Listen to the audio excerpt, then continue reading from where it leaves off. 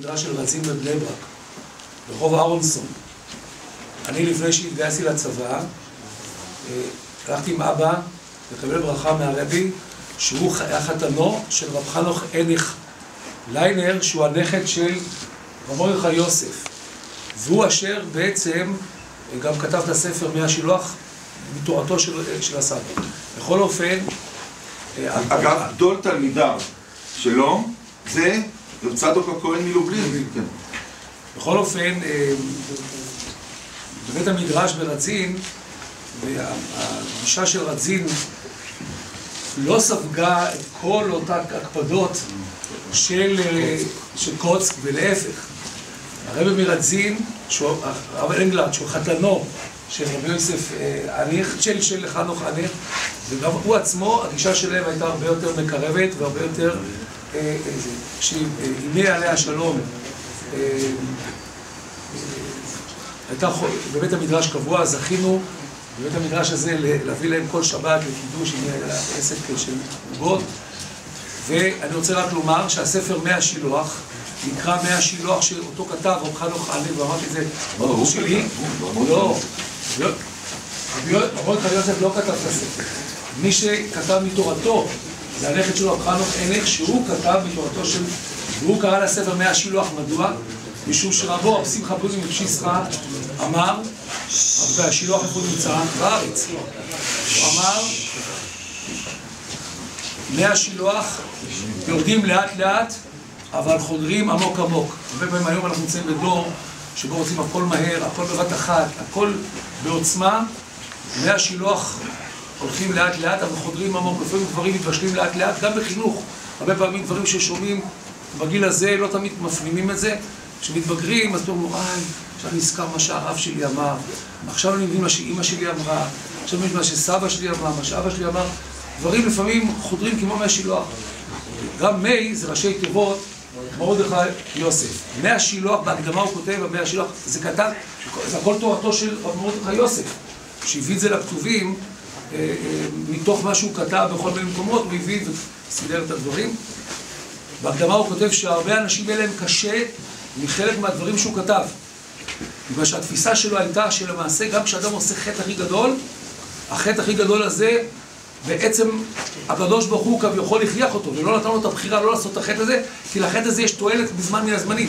אחת הדוגמאות הכי גדולות זה זמרי בן סלו, כולם יודעים שזמרי בן סלו היה, היה חוטא גדול, נכון? נכון? שבט שמעון. והוא שבט שמעון. והוא מסביר בתורה ארוכה מדוע בעצם מה שהוא עשה זה לא היה חטא. כל הגישה שלו היא באמת גישה שמדברת על הבחירה החופשית שהיא בעצם חיצונית. אין כמעט. אין כמעט בחירה חופשית, היא חיצונית. כל המהות היא בעצם שהקדוש ברוך הוא מסרב את העולם. הרבה פעמים הוא יודע, כמו שאני, אני נותן לזה משל, אדם נוסע ברכבת, הקטר מוביל ללכת לחיפה. אדם בתוך הקרון הולך קדימה, הולך אחורה, הוא חושב שהוא עושה מה שהוא רוצה. אבל בסופו של דבר הקטר יביא אותו לחיפה. הרכבת עובר לחיפה, הוא בתוך הקרון יכול לשבת עם הגב הפוך לנסיעה. אבל בסופו של דבר יגיע ליד. גם ככה, ככה נסביר עמי שילוח את הדברים. יש פה ניגון מאוד חשוב שצריך...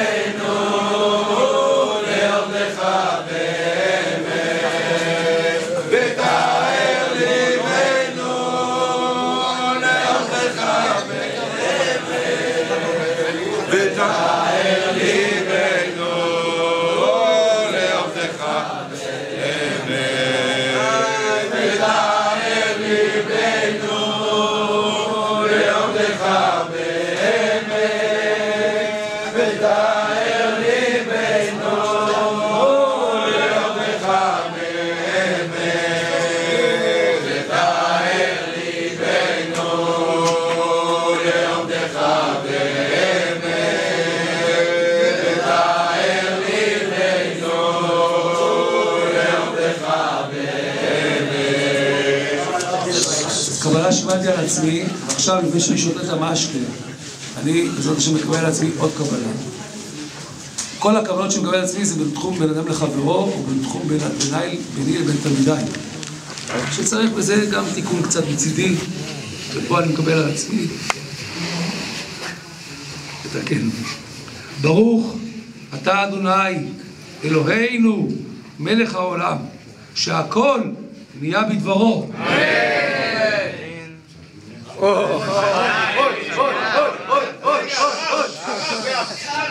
い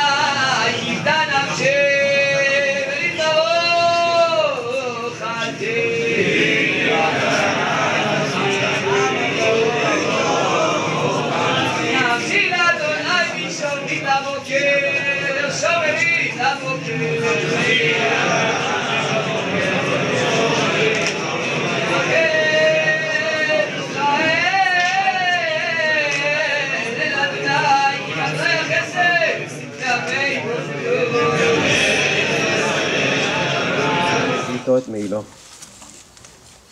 אמא, אני נזכרת שלא נתתי לך נשיקת בוקר טוב, או לילה טוב. לא אוכל לנשק אותך יותר. אני חייבת להפסיק לכתוב, אין, מספק, אין מספיק נייר. היא גויה אמא שלי, ואל תבכי עליי. אני מצרף את המכתב הזה לסיכת שיער. זאת נראית לי הדרך הכי טובה.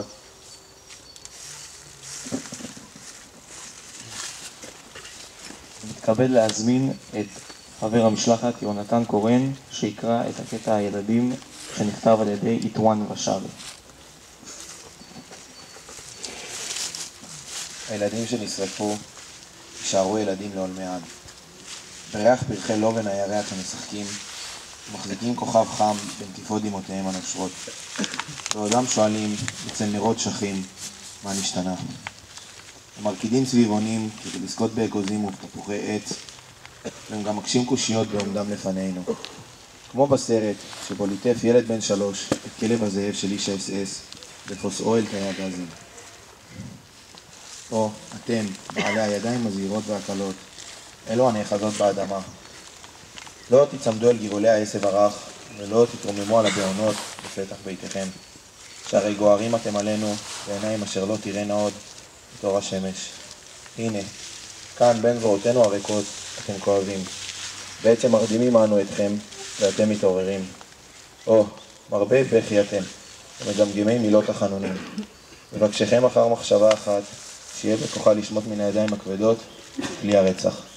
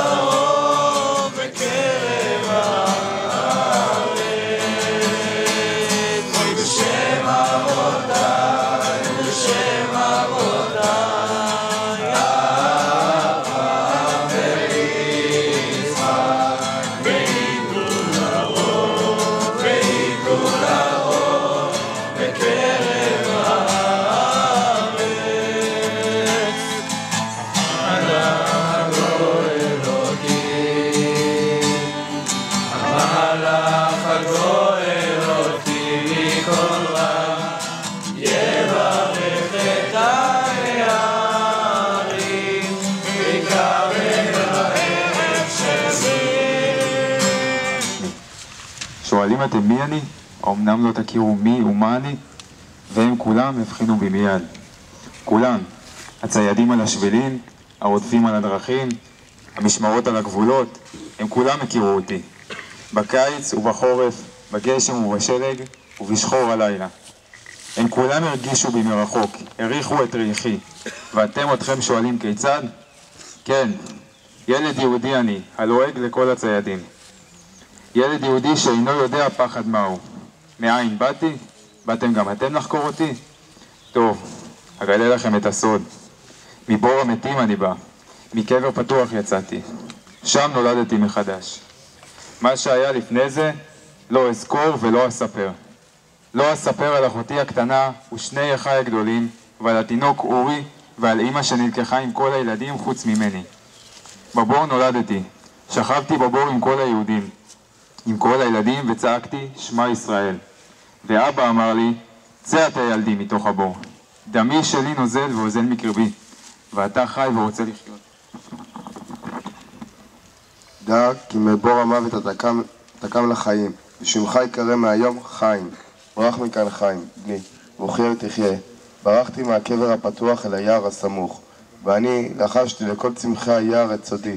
אולם הציידים ערבו לי, סבבוני בתוך היער, וכמעט שנפלתי בפח שפרסו לרגליי, עד שיצאתי מהיער. הרודים עקבו אחריי, הם היו מחנות, מחנות, ואני יחידי, והם כולם רדפו אחריי כדי לתפוס אותי. ואז הבינו אותי, כי נשאני, כי נשאני איתי אוצר אשר יקר ביניהם מכל יקר, וכדאית להם, להם כל, העבוד, כל העבודה וכל הטרחה.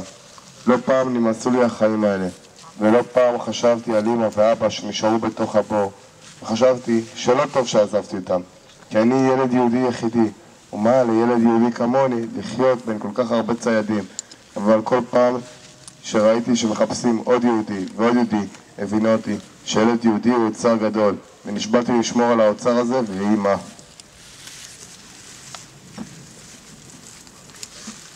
אני מתכבד להזמין את חבר המשלחת יגאל לוין לקרוא את הקטע בובה סרינה מאת אנדה עמיר פינקרפלד.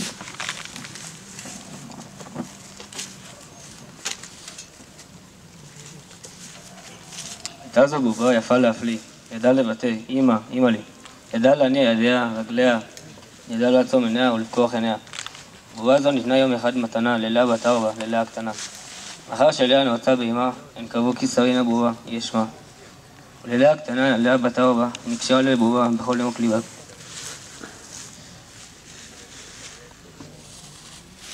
בכל צעדי הבובה נלוותה לטיול השולחן ואף למיטה. באותו לילה היום כאשר באו הם ולקחו את לאה, את האב ואת האם, לאה הקטנה, לאה בת ארבע. כל דבר לא לקחה זולתי הבובה. וכאשר הם הפרידו בקולות ניחרים ובמכות אגרופים על פני ההורים, הנה לא ידעה ומאום לא הבינה, אך חיבקה אל ליבה ובבתה את שרינה. כאשר נדחקה במאות ילדים, כאמור הקטנים, ילדים נפחדים, היא אחת יחידה לא קרה, לא בכתה, כי איתה בובתה, כי שרינה הייתה. עוד ראה האחרון על נשמה המומה, רחמה על שרינה פה נחפצה עמה, עד כשלה נפלה בחלום אפלולי, היא שמעה קול שרינה, אמא, אמא לי. החלטה עניין לאה, זו אמא, ומי ירחם על בואי יתומה.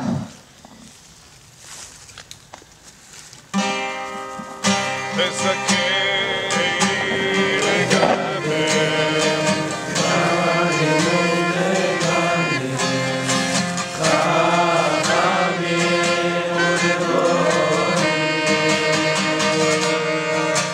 מתכבד להזמין את חבר המשלחת שלמה קוליק לקרוא את הקטע "זה היה כדאי". באחד הימים שכבתי על הדרגה שלי בצריף הילדים באושוויץ וראיתי את סגן מפקח הצריף הולך עם צינור גומי עבה להלקות מישהו. קפצתי מהדרגה שלי ורציתי לראות את מי הולכים להלקות. על כל דבר היו מלקים. לפי גודל העבירה היה מספר המלקות. באותו יום הוכנס לשימוש צינור הגומי. בדרך כלל היו משתמשים במקל שהיה פעמים רבות נשבר באמצע ההלקאה ולכן הכניסו לשימוש צינור גומי. רציתי לראות כיצד הוא פועל. קפצתי מן הדרגה שלי לראות כיצד זה פועל, אולי אני אצטרך פעם להיפגש עם הגומי הזה. הלכתי אחרי סגן מפקד הצריף. הוא ניגש לאחד הדרגשים, הילד היה שם. כבר ידע וחיכה לו. הסגן אמר לו תרד. הוא ירד והתכופף, והתחילו להלקות אותו. אנחנו, קבוצת נערים שעמדנו מסביב, הסתכלנו וספרנו, כל אחד לעצמו את המלקות. הילד לא בכה ולא צעק, אפילו לא נאנח. מאוד התפלאנו, לא ידענו מה זה, והוא ממשיך. עבר כבר את 25 המלקות, בדרך כלל היו מלקים 25 מלקות, והוא כבר עבר 30. כשעבר את ה-40, הפך אותו והתחיל להלקות אותו על הרגליים ועל הראש. הילד לא נאנח, לא בכה, שום דבר, ילד בן 14 ולא בכה. החייל מאוד התרגז וגמר את החמישים ועזב אותו. אנחנו הרמנו אותו. אני זוכר סימן אדום גדול שהיה לו על המצח ממכה אחת מצינור הגומי הזה. שאלנו אותו, למה? למה הלקו אותך? אז הוא ענה, זה היה כדאי. הבאתי לחברים שלי כמה סידורי תפילה. שום דבר יותר לא הוסיף. קם, עלה על הדרגש, התיישב, וגמרנו.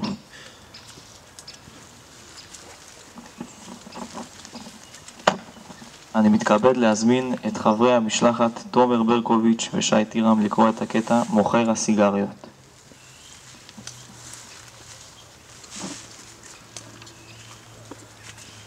בלילה קר, גשום וזר, ניצב לו יחידי, בפינת רחוב שכוח, ילד יהודי.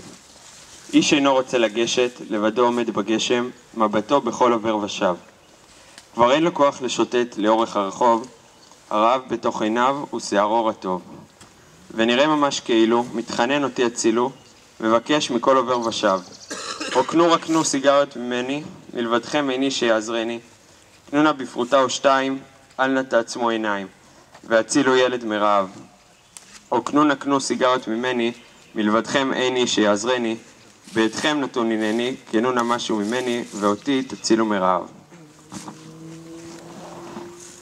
לא, לא אשכח את אחותי, תינוקת קטנטנה. בחובות איתך הייתי יחד כשנה. היה לי קל יותר לראות איתה ביחד ברחוב, כשעיניה מביטות עליי. ביום אחד חלתה מאוד, אחזתי בה קרוב, ובתוך ידיי היא מתה על הסל ברחוב. ומאז שנעלמה לה, גם אני רוצה למעלה. שעבר מוות גם עליי. רוקנו, רק קנו סיגרת ממני. מבעדכם, אין איש שיעזרני. קנו במפרוטה או שתיים, אל נא תעצמו עיניים. מצאו לי ילד מרעב. רוקנו, רק קנו סיגרת ממני. מבעדכם אין איש שיעזרני. בידכם נתון. קנו נא משהו ממני, ואותי יצאו מרעב.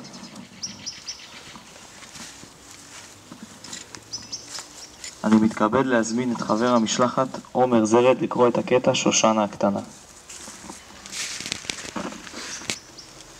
וכך כתבה שושנה הקטנה, וכך, וכך כתבה שושנה הקטנה, שנותרה בודדה וגלמודה.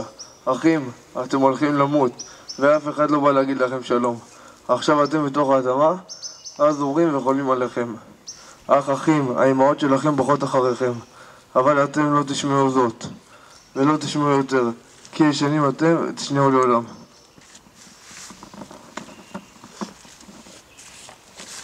אני מתכבד להזמין את חבר המשלחת איתי פנחס לקרוא את פרק תהילים קכ"ד. שיר המעלות לדוד. לולא אדוני שאלנו, יאמר נא ישראל. לולא אדוני שאלנו, בקום עלינו אדם. אזי חיים בלעונו, בחרות אפם בנו. אזי המים שטרפונו, נחלה עבר על נפשנו. אזי עבר על נפשנו המים הזדונים. ברוך אדוני, שלא נתן לנו טרף לשיניהם. נפשנו כציפור נמלטה, לפח יוקשים. הפח נשבר, ואנחנו נמלטנו. עוזרנו בשם אדוני, עושה שמיים בארץ.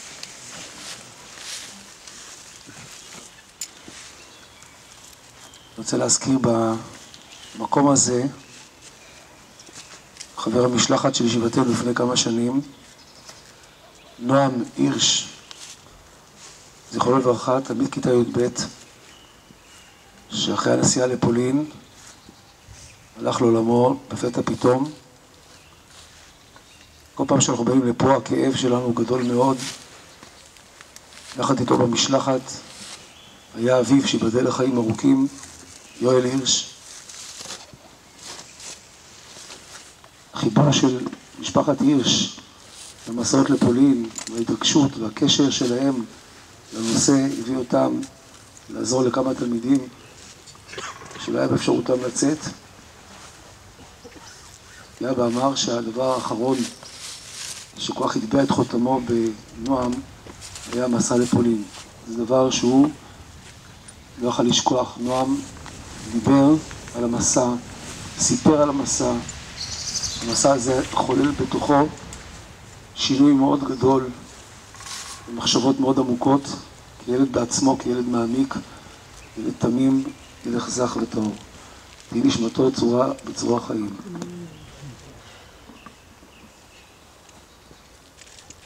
לפני קדיש אני רוצה להדליק נר לנשמה זכה וטהורה.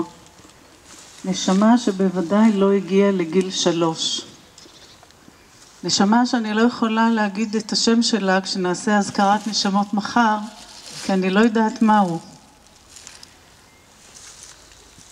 הנשמה הזאת הייתה תינוק או תינוקת, שסבתא שלי, סבתא פניה, לקחה איתך, איתה כשהיא ברחה מפולין במלחמה ועברה את הגבול לרוסיה יחד עם אמא שלי, אסתר זיכרונה לברכה, שהייתה אז בת שלוש.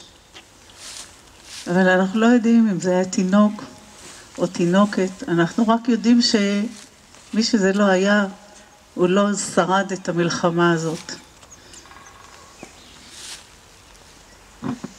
קדיש לנשמת כל 800 הילדים כאן שנרצחו. יתגדל ויתקדש שמי רבה ועל מה דברך ירותי והמליך מלכותי. יצמח פורקני ויקרב משיחי. בחיי חול וביום חול ובחיי דכל בית ישראל. באה גלה בזמן קריב אמרו אמן. אמן. יהא שמך רבה מבורך לעולם ולעולמי יתברך וישתבר ויתפר ויתרומם ויתנשא. ויתהדר ויתעלה ויתהלל. שמי דקודשה בריחו. ואילה מן כל ברכתה ושירתה תושבחתה ונחמתה אמירת בעלמה ואמרו אמן. ויהי שלמה רבה מישמעיה. חיים טובים עלינו ועל כל ישראל ואמרו אמן. עושה שלום ממרומיו הוא יעשה שלום עלינו ועל כל ישראל ואמרו אמן. יהודים יקרים עברנו את השבת ביחד לפני, בשבת קיבלתם מכתבים מההורים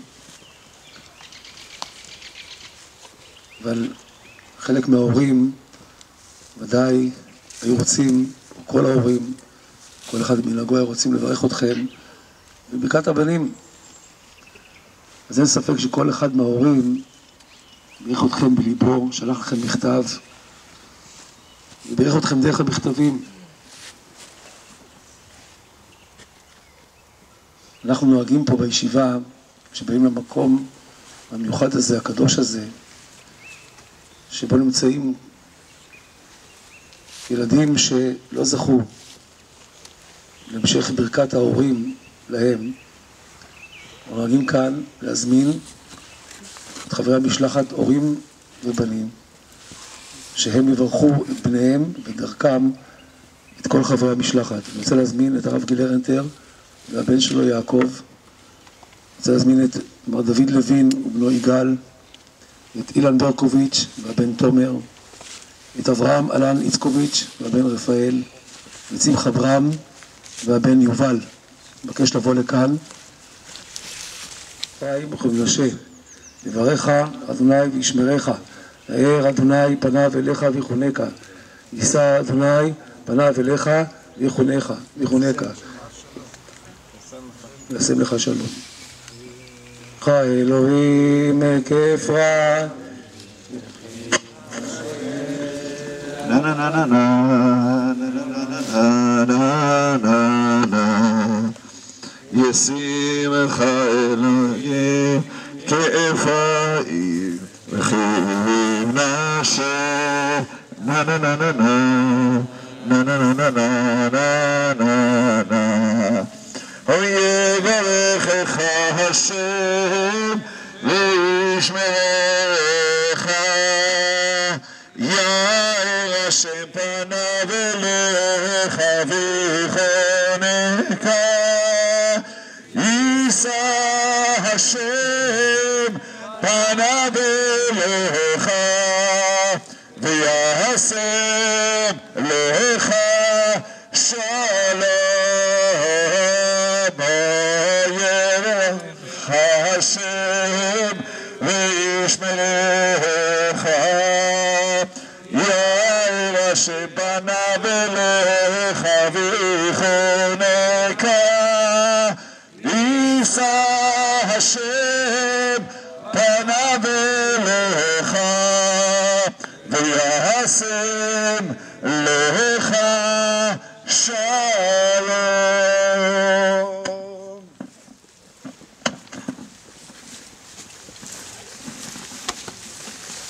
מתכבד להזמין את הרב נחמן הירשוביץ לומר אל מלא רחמים.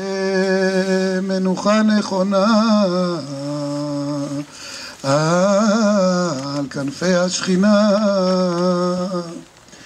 במעלות קדושים וטהורים כזוהר הרקיע מזהירים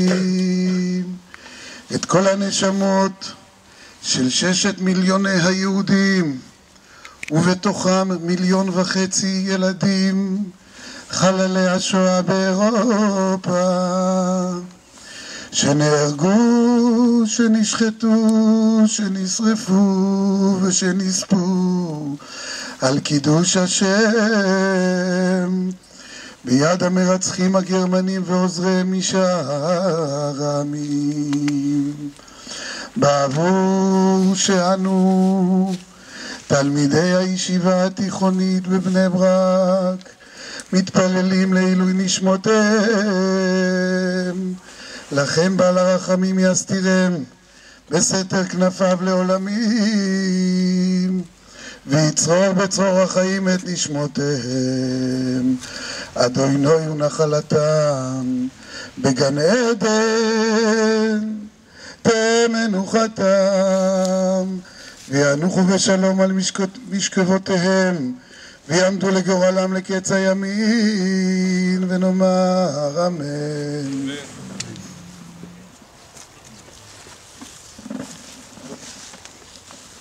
תם הטקס.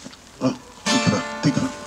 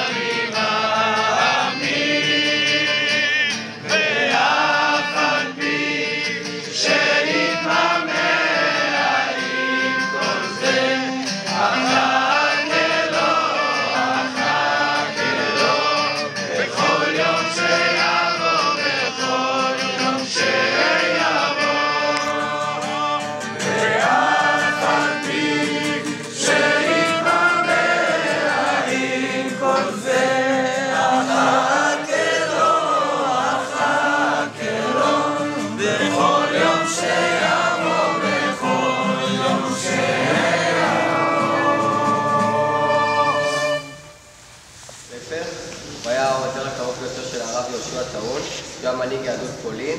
בסוף ימיו הוא מינה את צבי כיורשו בניהול המוסדות השונים, הוא היה נאמן לכל כתביו והדרשות שלו. צבי נולד בטרנופול ב-1904, למד בחדר באוניברסיטה בקרקוב, בסורבון בפריז, הוא קיבל שם דוקטורט למדעי הרוח, ובסמינר לרבנים בב- בברסלאו שבגרמניה. לאחר מכן חזר לקרקוב והיה ממנהלי הגימנסיה העברית, עורך עיתון יומי יהודי בשם חווילה, כתב בעיתון נובי דז'ניק ממקימי ומנהלי הוצאת הספרים מפלס וחבר בפרט הגלילי שארגן את סניף תרבות בקרקוב. הרב נרצח יחד עם אשתו ובנו בחיסול גטו ביוני 1943, יהי זכרם ברוך. בדרשותיו בטמפל הוא הבליט תמיד את הצד הלאומי התרבותי והצליח לשכנע את שומעיו כי היהדות איננה אך ורק עדה דתית, אלא אומה בעלת ייעוד היסטורי הקשור בעברה ובעתידה. ייעוד היסטורי שהתגשם אך ורק על ידי הציונות. הוא טען שהציונות התעוררה לא בגלל רדיפות היהודים והאנטישמיות, אלא למרות זה. העולם אינו סולח לנו על אריכות הימים שלנו, וההיסטוריה מרמזת במפורש על היום בו יקימו היהודים שוב את מדינתם. בגמר המלחמה ביקרו האחים בקרקוב בדירת בן הדוד. הם מצאו כתבי יד עם הנאומים והדרשות שלו ושל הרב טעון פזורים על הרצפה. אספו אותם והביאום ארצה. כאן מסרו אותם למוזיאון לוחמי הגטאות. להמחשת גישתו של הרב דוקטור פפר לגבי השואה, העם והארץ, אביא מספר קטעים מנאומיו שנכתבו בעברית רהוטה. מתוך נאום שנשא בפתיחת מוסדות בני ציון. בימים הנוראים שלנו, בהם אנו חיים בתקופה של מטריאליזם, ישראליזם אכזרי, הציונות היא זאת שמלמדת אותנו את אהבת האידיאלים הנשגבים, דבר מחמם את הלב. גורם להתלהבות אצילית, לשאיפה אידיאלית ולמ- ולמאמץ יצירתי. בזמנים בהם שולט מצב של איש הישר בעיניו יעשה, כשהכוח חוגג ורומס סמים גדולים וחזקים, הציונות היא עבורנו אמונה בצדק, אמונה בניצחון האמת, ניצחון הרוח על האגרוף המשוריין. לסיום אסיים בתוך נאום של חג, שדיבר בחג השבועות, תשרצ"ט, שנאם בבית הספר. לא עת שמחה הם לנו הימים האלה, ימי הספר הלבן. ובכל זאת אנו חוגגים את זיכרון חג הפורקורים. ואותם האלפים, אותם הרבבות שהיו עולים לירושלים, בסלם השכמם, לא עצב ותוגה היו מקננים בליבם, כי אם גיל בשמחה והתלהבות. זוהי השמחה של אדם המרגיש כי אין אושר גדול מזה הנובע מתוך ההכרה של מבחן סולידרי, שלא הוא היחיד המקריב את קורבנו, כי אם הכלל כולו, והוא רק חוליה אחת קטנה בשלשלת. לא דברים לזכרו של דוקטור צבי פפר, הרב דוקטור צבי פפר. זה הכי גדול.